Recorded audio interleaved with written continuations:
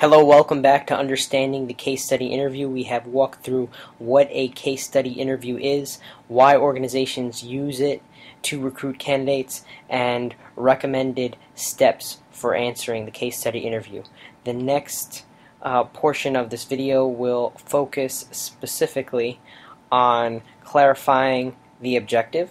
So, this uh, step right here, and then also um, we'll, we'll go we'll do that by diving into a sample case. So the first step I'll do is clear the canvas so that we can get started.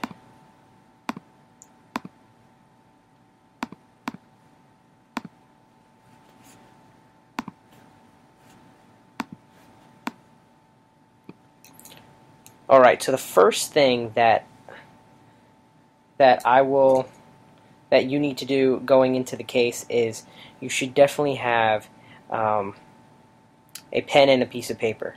You you should feel comfortable using that throughout the case, uh, and you know you can have a portfolio or um, a, a, binder or or books. usually, in a portfolio looks looks more professional, um, so that's something that that I would definitely recommend, you know, walking in, feeling comfortable, and then also in terms of paper, some people feel more comfortable using graph paper because if you're going to draw and, and share some of that with the with the interviewer, it it, it might help you.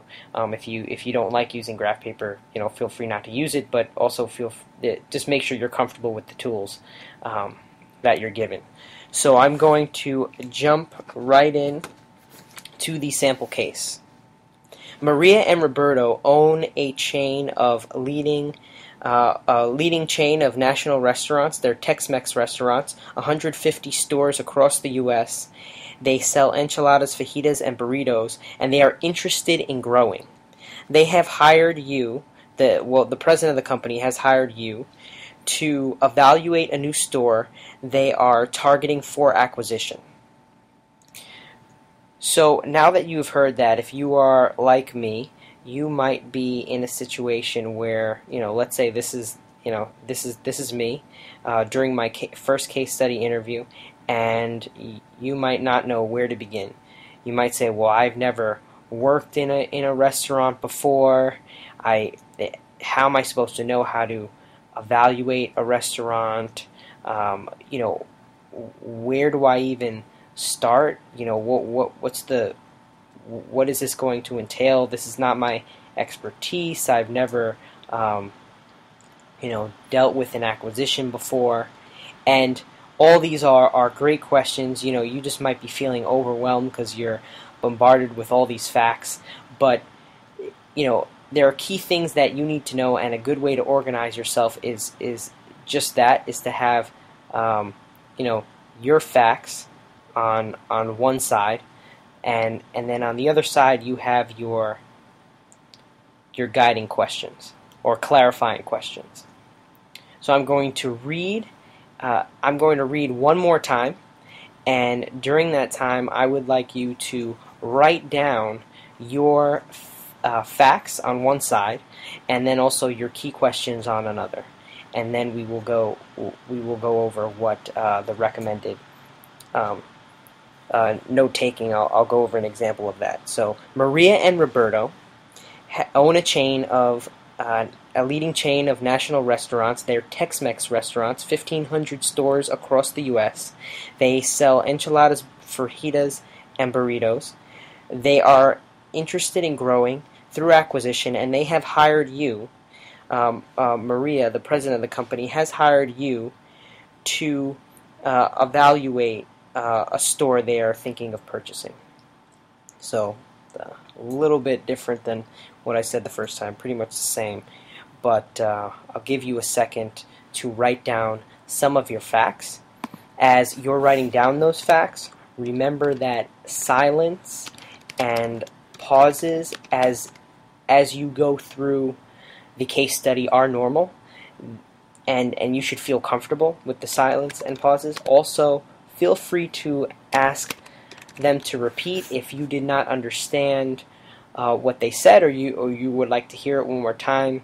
Uh, you should definitely feel comfortable on that. So jumping in the facts that, that I heard, one, it is a uh, national chain in the U.S. They sell Tex-Mex is the cuisine that, that they focus on. If you don't know what Tex-Mex is, you can write enchiladas or burritos. Just something to give you a context for what they actually do. I heard there's 1,500 stores. I heard that they want to grow, and they want to, they want us to, let's say, evaluate a new store. So those are the key things that that I heard, um, and, and, I also heard the term acquisition. So they they want to, you know, acquisition meaning purchase. They want to purchase this new store. The the questions that I have is, uh, what does evaluate mean, and what do they mean by that? And then also, are there any other objectives? And are there any other objectives? Is a key question I ask usually during every um, case study interview. So, are there any other objectives? Uh, is a is a question you should always have uh, in the beginning uh, on your question side. So, the first step that you should follow once you have your facts and your questions is one is restate the uh, situation and objective. So you would just use your facts to restate the situation and objective. So there's a national chain of Tex-Mex restaurants that are looking to grow, and they have hired us to evaluate a new store they are interested in acquiring. So you have just use your facts to simply, you know, to cover step one. What you're doing is you are verifying your facts to make sure that they are correct. And this is a key step as you move forward because you know this will drive your your actions and your framework. Next, you walk through your questions. So first, what do you mean by evaluate? So let's say, you know, a, a response they might give you uh, during that situation, they said, well, evaluate, I want you to come up with the value for the store. Uh, so, so I know how much, uh, you know, Maria wants to know how much should we pay for the store. So, so you've just clarified the first one. About, you know, they want to evaluate the store. They, what they really want you to do is they, the objective is to come up with the value of the store. Your second question: Are there any other objectives? They might say, well, actually, what we're looking to do is we also want a 20% return on investment. So, and this is also referred to as um, ROI.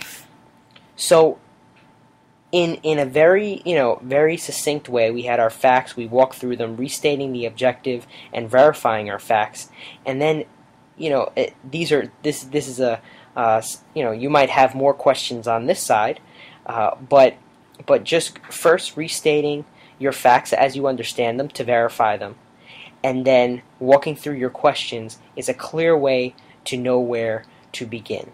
So these questions right here, um, the valuing, uh, coming up with a value for the store, and understanding uh, how to come up with a 20% return on investment is your objective, and that will guide your framework as you go forward. So, in the next video, we will cover uh, c- how to structure this framework uh, around this objective. See you in the next video.